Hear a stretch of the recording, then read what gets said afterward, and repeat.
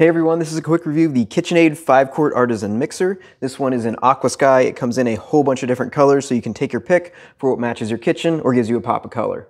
This comes with a stainless steel 5-quart bowl, a pouring shield and splash guard, a wire whisk, a dough hook, and the standard beater blade.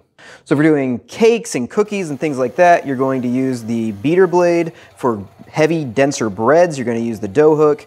And then for meringues and whipped cream, you're gonna use this whisk. So the splatter guard can just be picked up off of it while you have the head down or placed on it while the head is down. This is great for adding uh, flour and things like that to the mixture or eggs or whatever uh, while it's still mixing. Uh, just kind of pour it in there and it guides it in. To change out the head or take the bowl out, you just lift this up there's a lock on it right here where you can lock it down if you're doing something heavy duty. I lock it down every time I'm turning this on, and that just keeps the head from tilting up.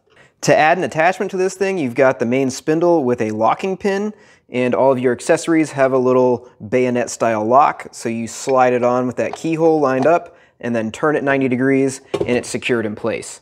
The old style of these had a spring that would compress these and keep them sticking down. It felt really secure, but you could get a bunch of gunk up on that spring. So these new ones don't have it. And, and at first I was a little bit disappointed, but after using this, I really don't need it. And it's a lot easier to clean this way. This thing has a 325 watt motor and a really powerful gearbox. And as it spins, as it turns, it's got an epicyclic gearbox, which means this rotates around the center shaft and the center shaft spins. So it gets right up against the edges of this bowl in every single spot as it goes around. So you don't have to scrape the sides as much.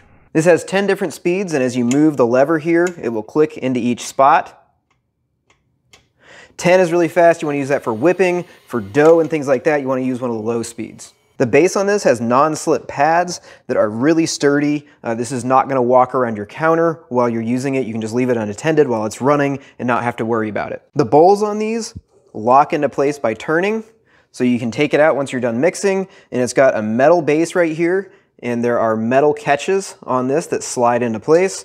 You just set it down, give the handle a turn and you're locked in. And on the front right here, you've got your power takeoff for all the different accessories that KitchenAid makes. I think they make a meat grinder, they make pasta makers, they make just about anything you can imagine for kitchen accessories for this. You just take this off, there's a square shaft in here uh, that you attach your attachments to and then turn it in with a set screw. So this thing is a beast. You do cookies with this, uh, cakes, all sorts of different things to bake. Uh, banana bread is one of our favorites, and this handles it no problem. The only thing we've seen it bog down a little bit on is when you've got a huge batch of dough for bread.